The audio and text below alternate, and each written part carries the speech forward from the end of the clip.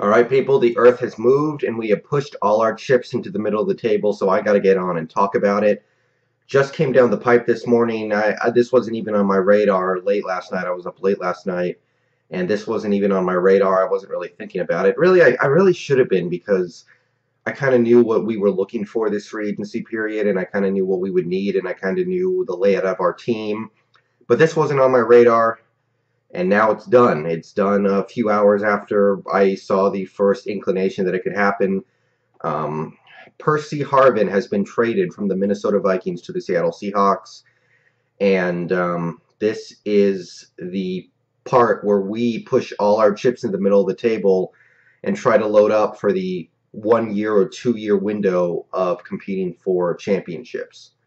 Maybe. I mean, obviously, you know, stuff changes, but this is us making our big move. We've been patiently, slowly building up this team, and now we've decided to make the big move. Percy Harvin comes to the Seattle Seahawks. He was having some contract concerns with Minnesota, and now he's going to come here. Presumably, we're going to pay him. So I got to give my thoughts. One second here. Um, first of all, I'll discuss the trade itself. We gave up our first round pick and our seventh round pick this year. And we gave up a mid round pick, probably third or fourth round next year. Now that's quite a bit, but I don't really mind giving up the picks. For one, you know, we're looking at our first rounder.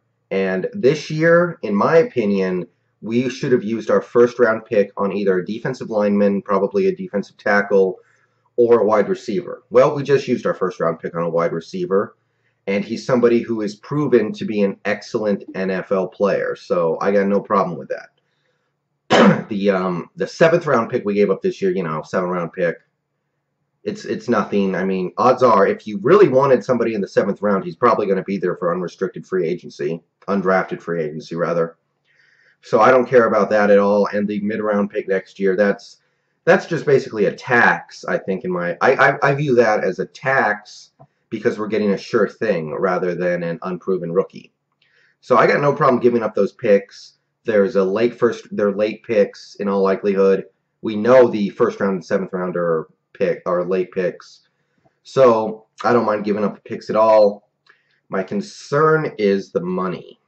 Now, I've been looking this over for a little while now, and even before this trade happened, this was something that was on my mind.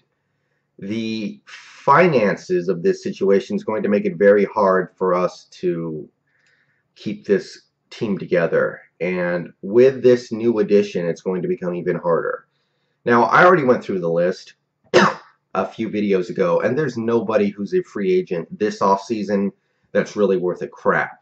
I mean, there might be one or two players, but even them, it's like you could let them all go and you're not going to lose anything. But next off season, a year from now, we got Doug Baldwin shaking free, Giacomini shaking free, Anthony McCoy is a free agent, Brandon Browner is a free agent, Paul McQuistan's a free agent, um, and now you know Percy Harvin's going to be a free agent, but we're going to obviously re, uh, probably re-up him well before then uh, Michael Robinson, Golden Tate, Walter Thurmond, Kam Chancellor, John.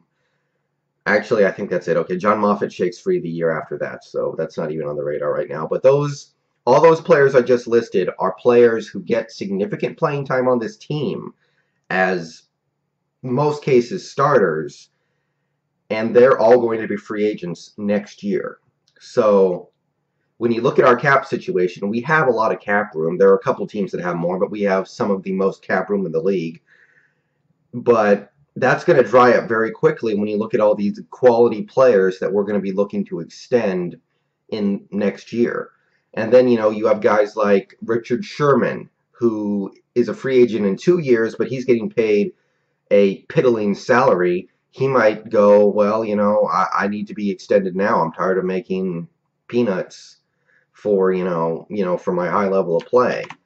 So my concern is when we extend Percy Harvin to his big, whatever his contract is going to be, because he's looking for Calvin Johnson money. Now, he's not going to get it, and we all know Percy Harvin is not worth Calvin Johnson money. He's not, may not even be worth half that. You know, I think Percy Harvin's a tremendous talent, but he's had zero thousand yard seasons. That that's just a fact. He's had zero thousand yard receiving seasons. Now he would have had a thousand yard season last year if he didn't get hurt, but those are just the facts.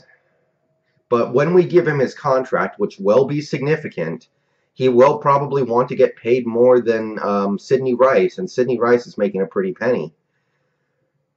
It's going to be a problem. We're going to have a um, issue on our hands because Sidney Rice makes about eight million a year. Percy Harvin's probably going to want to make more than that, and I don't see how we could give him less than that. So the money concerns me a lot because a year from now, there's going to be a small amount of money to go around to some players who are due a raise. Guys like Brandon Browner and Richard Sherman and Kam Chancellor, they make nothing right now, and they've deserved a big payday, and we're not going to be able to give that big payday to all these players. So basically, we put ourselves in a situation where we have at most a three-year window to really go compete for a Super Bowl, unless we can reload consistently with premier talent every single offseason. And I have a lot of faith in this front office, but you never know when you're going to come up with a couple of lemons.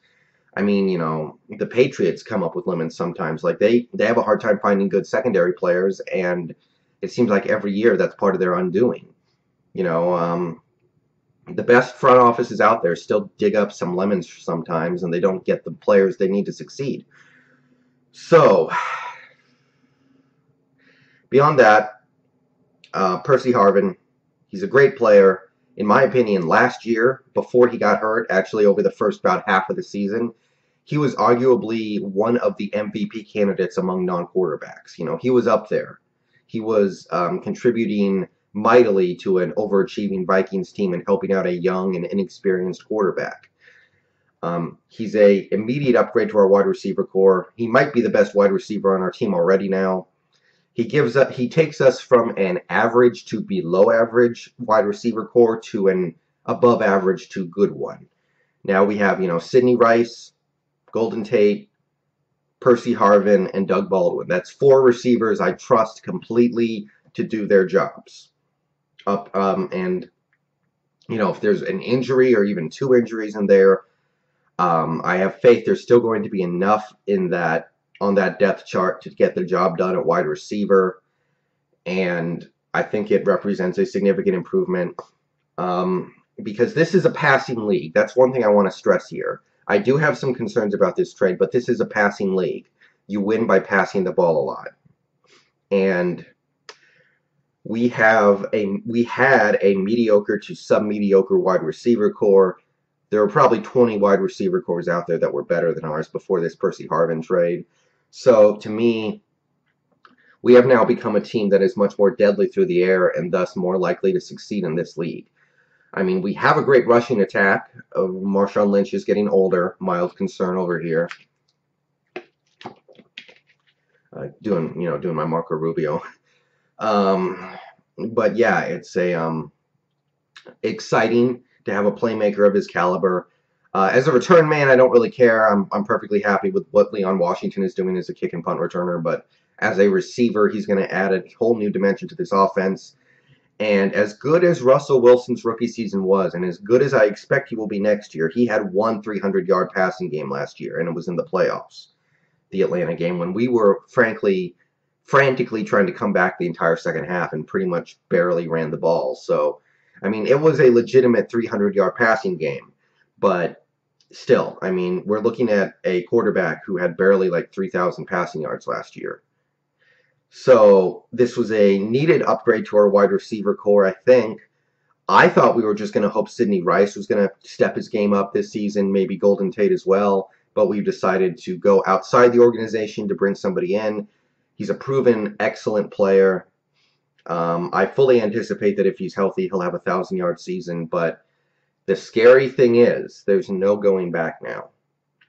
We were we had been built up as a team very patiently. We were built up using low round draft picks and undrafted free agents and players that nobody else wanted, signing them to cheap contracts and having them come in and overachieve many times over. And now that formula has changed. We have gone out and gotten a proven star and are going to pay him a lot of money.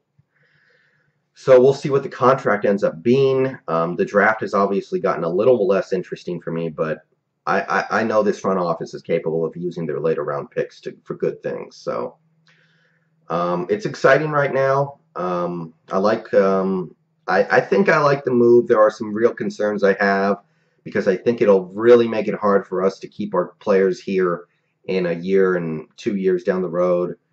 You know, Earl Thomas is another guy who could uh, suddenly just demand an extension because he's underpaid right now, and he's a guy we absolutely cannot lose. But we're going all in, and um, give me your thoughts. Um, I'm excited to have a elite playmaker on our offense now, and I'm expecting big things from him and Russell Wilson this season. But uh, let me know what you think. I wasn't anticipating this much excitement, and looks like we went out and got some excitement. So. Um, there you go.